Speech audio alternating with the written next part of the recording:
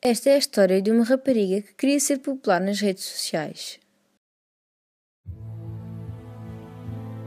Luísa começou por criar contas em redes sociais como o Twitter e o Instagram.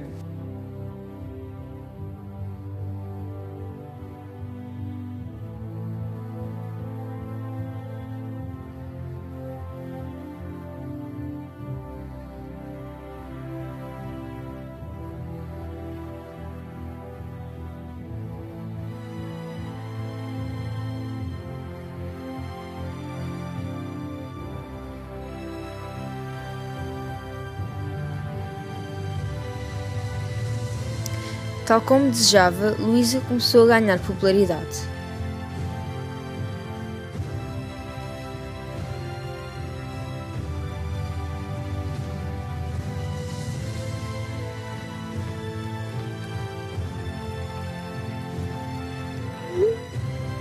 No entanto, colocou dados pessoais sobre a vida dela que qualquer pessoa poderia ver.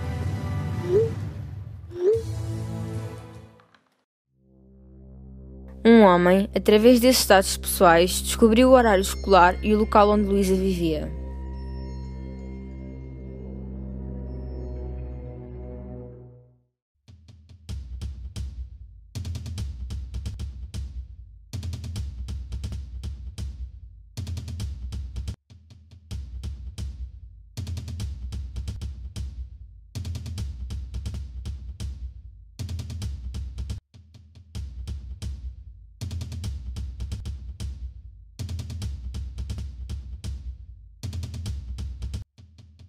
Com isto, Luísa acaba por ser seguida e raptada.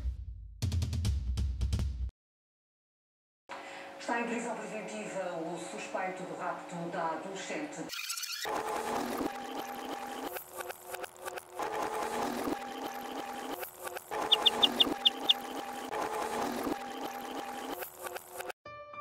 Embora esta história tenha acabado bem para Luísa, poderá não acabar bem para ti. Será que precisas de contar a tua vida online para seres popular? Ou será que precisas mesmo de ser popular para seres feliz?